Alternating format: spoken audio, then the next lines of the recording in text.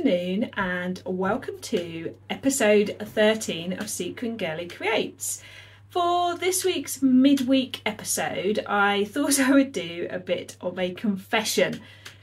If you've been following along, welcome back and lovely to see you again. If you're new, welcome to Sequingirlie Creates, where I take you on my sewing journey but also share other creative pursuits.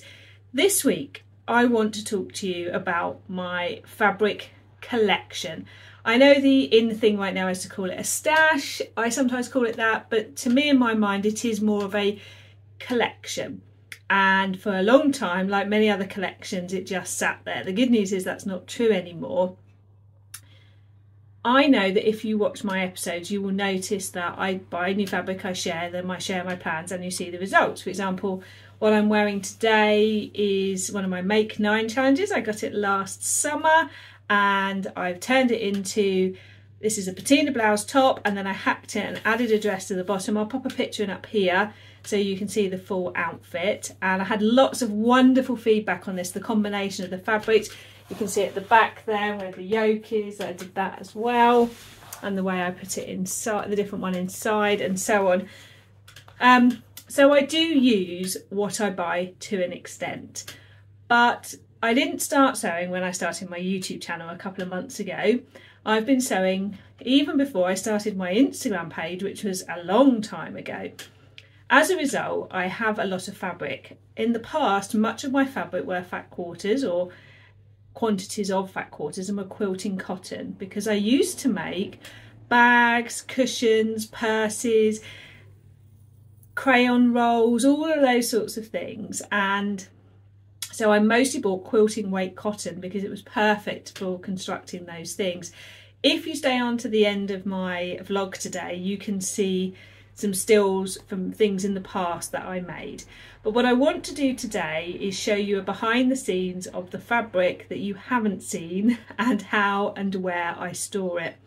If you are a subscriber or a follower along and you've seen my other videos, you often hear me say, I mustn't buy any more fabric, I'm trying not to buy into fast fashion version of that in fabric shopping and you will often see that I fail but what I do want to do is really work on using what's in my collection and today you can come along with me as I show you where I fit it, stash it, stuff it and also my attempts to use it. I know there are some wonderful apps out there such as Stash Hub to record it. I'm not ready for that yet but I did want to give you a little confessional so you can see the truth behind the vlog. You won't see much of me, but you will hear my voice. I hope you enjoy. So let's start with this cupboard, which you will have seen when I often record my vlog and it's behind and I sometimes point to it. Now brace yourself. This is where I kept all of my fabric, well, to an extent, much of it for a long time. I now store coats down this side. I used to have one of those shoe hangers and I was it was filled with fat quarters, but I stopped doing that last year. So if we start at the top, that is all Christmas fabric. Um, I used to make a lot of table runners, etc. So one shelf of Christmas fabric. In that shoe box is lots of Christmassy fat quarters. This box here is lots of organza because when I do textile art, that's what I use. And here is an amazing £3.50 white quilt that I found in a charity shop this year, ready to make into some kind of coat. On this shelf, and I'm sure for those of you who like to roll and fold, there's lots of fabric. It's all hiding behind there. That's just sort of where I was looking at that and it's falling out. This fabric, you may even recognise some things. There's lots tucked right back in there. You might even see a make 9. And this shelf is mostly plains. A lot of them are fat quarters, but some of them are bigger. But that's sort of my plain shelf. Ignore the bit of Christmas fabric there. And then I have some down here. I've exploded down on today. You might recognise another fabric from the other day. And it's exploded there. And then at the bottom, there's wadding for quilting. In the boxes at the bottom, oh look, there's the hankies I showed you the other week. In the box at the bottom are things like my pom-pom making kit. But this isn't it. I am now in my office slash sewing second sewing room and you may have seen this the other day where it was a horrific mess on the floor.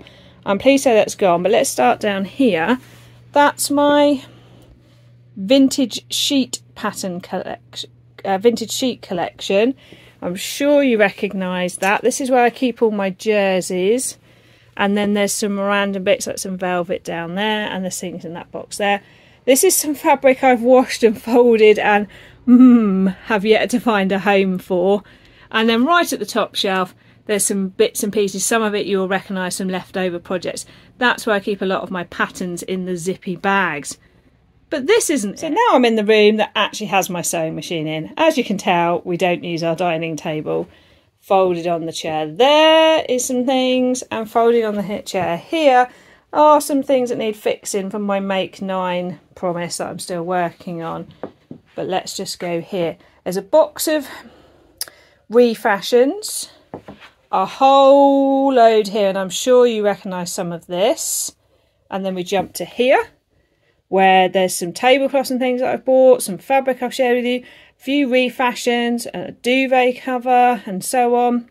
And then we go here to a little folded up bit, and further down there is some right down there you can't see yet there and those and then we need to talk about this this started as the one box last summer when I took all my fat quarters out because I was moving much more into sewing clothes and wanted to consolidate them put them in this box and started using them if you've seen episode two or three where I talk about my quilted coat jacket that I made from fat quarters I had, they all came from in here. But as I finished projects, you'll notice bits here you'll recognise, and I cut off cuts off, it's got bigger and bigger. Hmm. So this is a little bit of a problem, this area, so I need to work out what to do.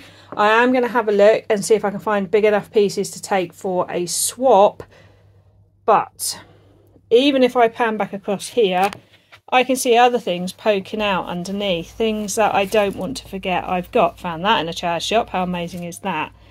Here, found this in a charity shop, they look amazing on the back of a denim jacket.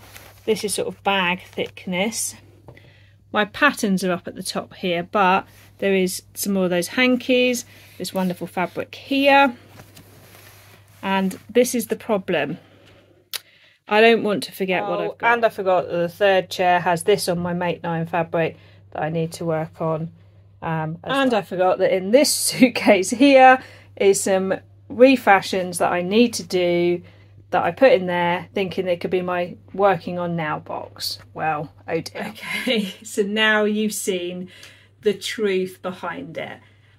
I have to make a better commitment to work with what I've got uh, there's even some in the wash basket right now. I hope you enjoyed seeing the truth behind the vlog and uh, I'll catch up with you on Friday for Friday Sews. If you hang on to the end of this video, I will put some pictures in of things that I used to make in the past.